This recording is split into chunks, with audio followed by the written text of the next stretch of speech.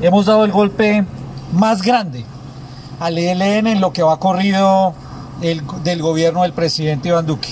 Ayer se capturó a Ángel Padilla Romero, alias Fabián, la cabeza más importante del ELN que quedaba en Colombia, porque los otros cobardes de esa dirección nacional siguen delinquiendo y planeando actividades criminales de esa dirección nacional del ELN que opera en Cuba y en Venezuela.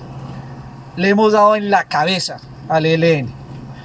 Hemos liberado del sufrimiento y el dolor a miles de colombianos a los que se sometía, que buscaban someter esa estructura criminal en el Chocó, Risaralda y el Valle. Lo capturamos vivo a las 4 de la tarde de ayer en las selvas chocuanas. Se le dieron los primeros auxilios y fue trasladado a un hospital de Cali.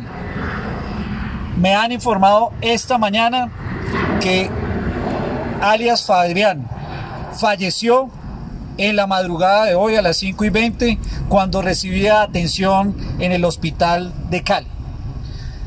Alias Fabián, después del operativo desarrollado por nuestra fuerza pública, el Ejército Nacional, nuestra Armada y esa operación aérea de la FAC con inteligencia de la policía, había quedado herido después de este operativo en ese golpe que le propinaron a esa estructura criminal cuando se neutralizaron a siete de sus lugartenientes y miembros de esa banda y ese grupo narcoterrorista.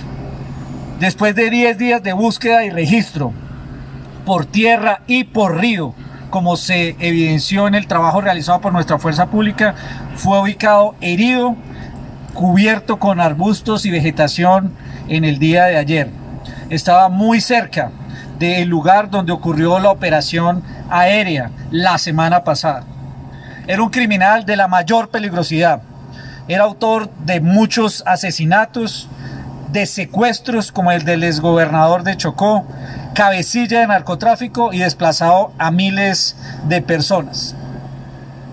Este alias Fabián, cabeza principal del ELN con el Frente Occidental, se había convertido en uno de los peores criminales que azotó al Chocó con el desplazamiento de más de 4.000 personas en el corregimiento de Mahomía, allá en el litoral de San Juan, con el asesinato de policías y soldados y adicionalmente, por supuesto, órdenes de captura por reclutamiento forzado ilegal.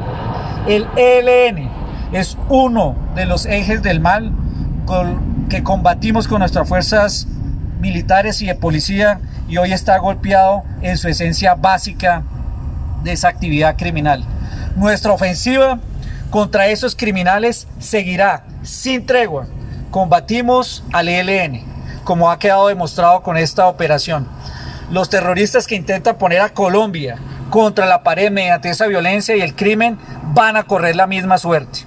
No tendrán, como no tuvieron aquí, dónde esconderse no tendrán tampoco refugio en Colombia, los vamos a encontrar donde estén. Reconocemos el importante trabajo de nuestras fuerzas militares y de policía en esta operación. Una operación hecha con planeamiento, con inteligencia, con precisión, aplicando los principios del derecho internacional humanitario y de los derechos humanos.